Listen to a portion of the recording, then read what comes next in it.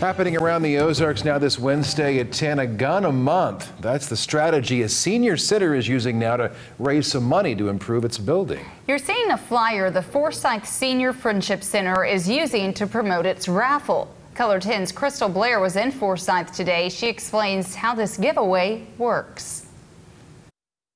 Starting January 1st of next year, the Senior Center will hold a drawing the first day of every month. If your number is pulled, you'll be the winner of a new gun from Ozark Shooters. Glenda Hunt is with the Forsyth Senior Center. We will be giving uh, uh, 12 guns away.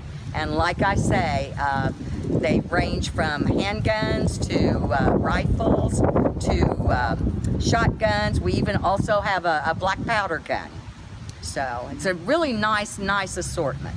And if you are the lucky winner, if your number is drawn, then you win whatever gun that is designated for that month. You can enter now until December 31st by purchasing a ticket for $20. If you win one month, your number goes back in the drawing for the next month, meaning you could win again.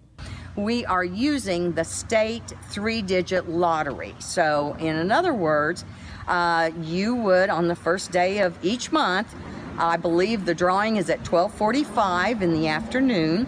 And uh, whatever that three digit number is, that is the number that wins that designated month's gun. Workers at the center say they've outgrown the old building and septic problems are making it difficult for them to help the seniors. So they purchased land for a new facility on 76, not too far from the old center. Well, the proceeds go to our building fund, which we are on track at this point. Hunt says they're finishing up a lot of paperwork.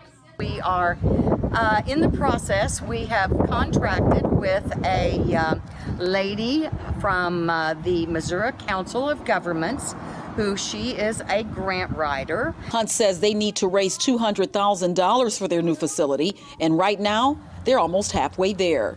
Crystal Blair, Ozarks First.